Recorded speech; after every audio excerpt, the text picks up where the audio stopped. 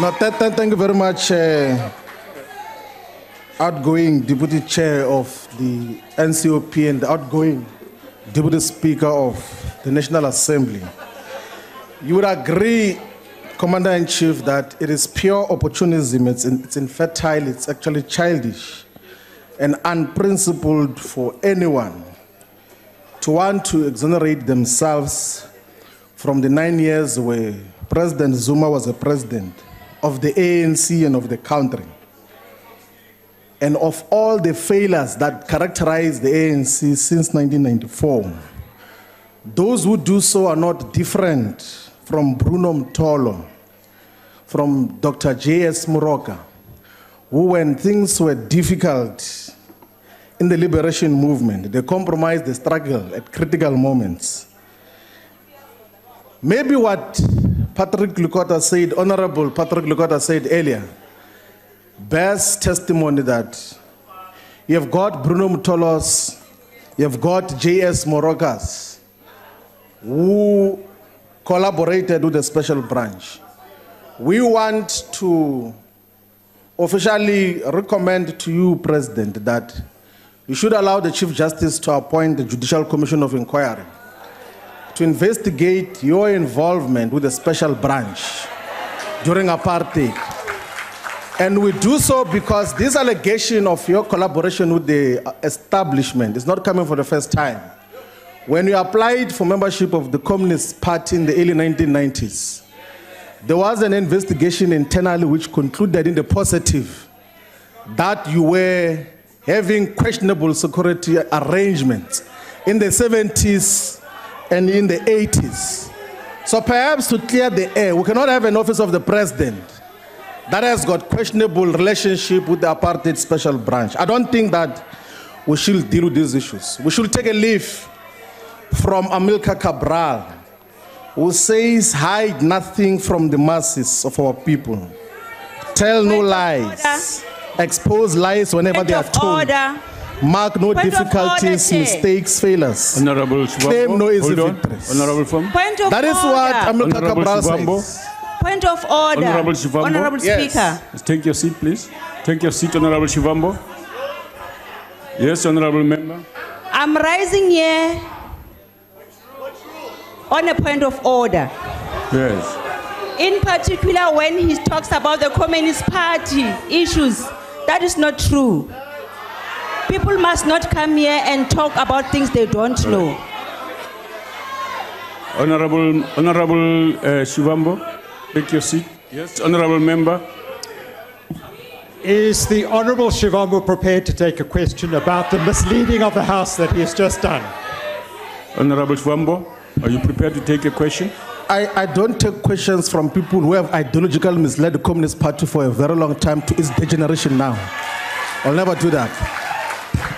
In other words, you haven't got a response. Now, I just quoted Amilcar Cabral, uh, chief whip of the of the ruling Honorable- party. Honorable Deputy I'm not Speaker. quoting. Yes. I'm not quoting Yeah. the newspaper Honorable articles, the local yeah. newspaper articles you- that you have been quoting yesterday here. Honorable We're referring to Amilcar Cabral, Honorable Shivambu, who says we must not tell Honorable lies. Shivambu. Yes. take your seat. Honorable Member, what, what are you rising on?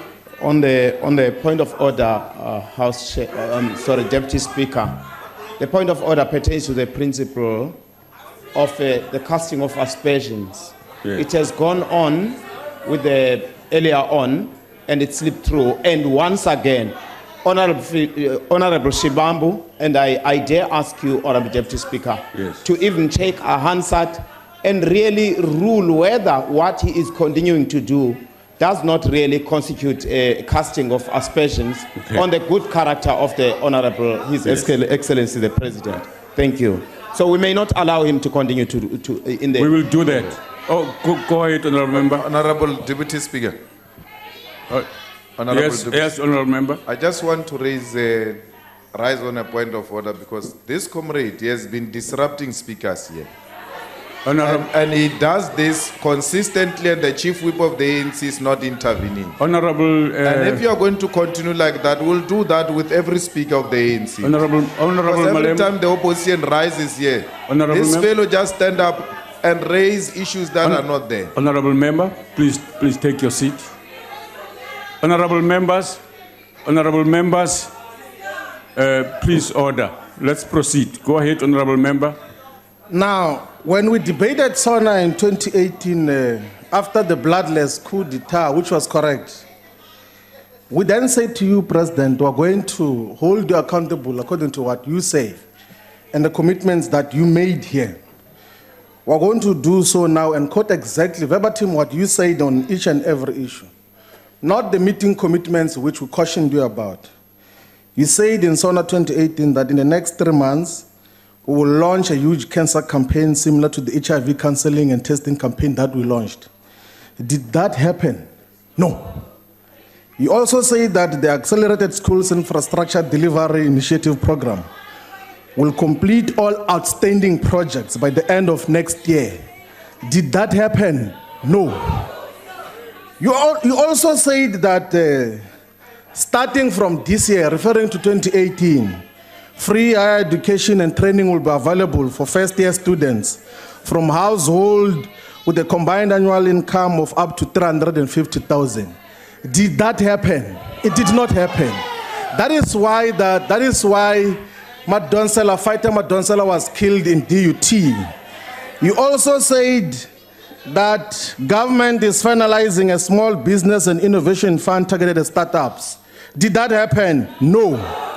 You further said that we are going to assemble a team to speed up the implementation of new projects, particularly water projects, healthcare and maintenance, and road maintenance. Did that happen? No. You further said that you're going to speed up industrialization. Did that happen? No. All the industrialization aspects and attempts are a joke in South Africa. From 1994 up until now, there is less than six special economic zones. There's been less than 11 billion rands investments there. There's been less than 10,000 jobs created. So for 25 years, 10 billion rands. Compare that to other expenditure items on the budget. And you are saying you are pursuit of industrialization. That is why we remain a colonial economy which exports semi-processed and raw materials to the established economies and then we import finished goods and products. Go and check the top 10 imports from china from europe from us and you'll realize that all of them are finished goods and products. And all our top 10 actually top 20 exports to china are, are semi-processed products. And that, that is the relationship that south african economy has with the rest of the world. But you further said in the state of nation address that before the end of 2018 you're going to finalize the minerals and petroleum resources development act what did you do to that legislation? You withdrew it and who did that? The minister of mineral resources. Where was he? He was in australia. Meeting with possibly the person you quoted here, a mineral resources minister, comes here to quote Mark Cutifani from Anglo American, and then he says that I'm giving you lessons in mining. So we're being educated by Anglo American, the, the, the company, the corporation that has raped this country, the corporation that has plundered this country, and then we are taking lessons from that. The MPRDA is withdrawn now. What does the MPRDA amendment bill say we should do? It sets a specific amount of minerals that must be locally beneficiated. It won't happen now. It says that the state should own a certain component of all the petroleum resources. So the bill was withdrawn so that you can have total with a B issue holding of 10%. And I, I, it, won't be a mistake if you go deeper into that 10%, you will find the occurrence of the president. You will find there is no way that Pembani people and all those people who are in Shanduka are not involved in that commitment. But let's leave, let's leave the commitments which you have not fulfilled, which you have dealt with. Your own conference gave you a mandate about the South African Reserve Bank, about the creation of a state bank which the acting premier, well, the real premier of KwaZulu Natal says must be established, about the creation of a pharmaceutical company, about the expropriation of land without compensation. Are those things happening? No. Are they going to happen? No. That is what is dealing, we're dealing with here.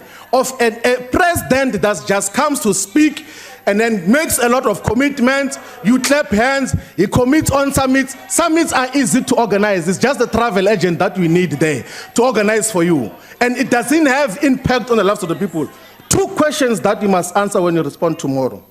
One is that why are you interviewing the SARS commissioner in secret? You want to impose an incompetent person who doesn't have qualifications on the revenue collector. Why is the SARS commissioner being interviewed in secret? Two is why is the company that is going to supply engineers to inspect the power plants of Eskom coming from a company that is benefiting from the independent power producers? Honorable member. Where is the logic in your time has that? These are the issues that we're dealing with. The people of South Africa If must see the hypocrisy and vote for the. EFF on the